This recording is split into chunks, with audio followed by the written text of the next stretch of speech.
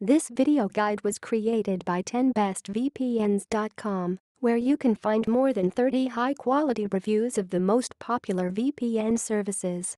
10 Best VPNs also provide how-to guides and articles on how to stay safe online and how to get access to sites and content that usually would be unavailable.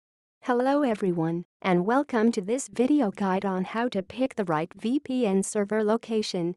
In this video, I'll be showing you how to decide what service you want to access and how to, to choose the best VPN server location. The first thing you may want to do is to check what is your current IP address. You can do it by opening your internet browser and typing in Google search bar, what is my IP? ExpressVPN. Then click to open the first search result on page 1 of Google.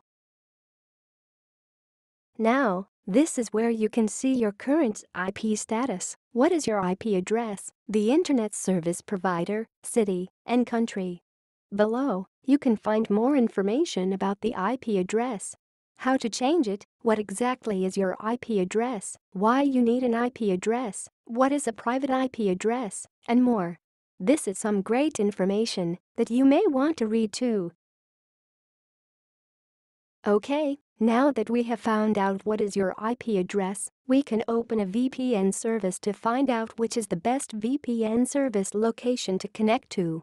ExpressVPN is our number one choice of all VPN service providers. Therefore, I will demonstrate how you can perform a speed test with ExpressVPN to figure out which is the right VPN server to connect to.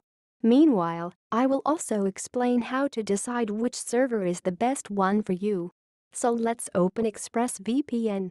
Here on the ExpressVPN software's left top corner, you can see a menu button. Press on it and select Speed Test. Speed Test will open in a new window where you will see all server locations, speed index, latency and download speed. On the bottom right corner, you can see a button Run Test. Click on it to start the test. It will take about 4 minutes to finish. Meanwhile, how can you decide what service you want to access and what VPN server you may need to connect to? To determine that, you need to think about the reason why you want to use a VPN service. Are you trying to leave your current country to unblock censored content like Google, Facebook, Twitter, or Skype? If so, you need to choose a VPN server from a location where access isn't restricted. For example, China is one of the most censored countries in the world. Many online services are blocked in China. So what if you are in China and want to access Facebook? Then you should connect to the closest location where Facebook is available. Places like Hong Kong and Los Angeles are good options in this case.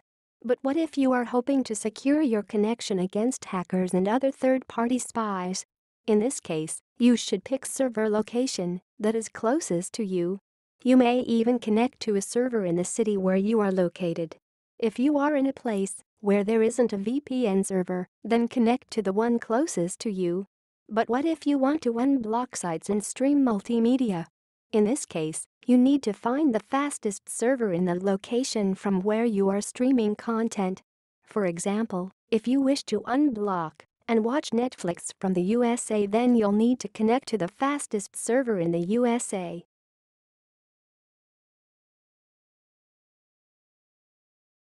Now that we have determined the purpose to use a VPN service, we can look at how to interpret your speed test results as you can see in here, the speed test measures latency and download speed. It combines these measurements into the speed index.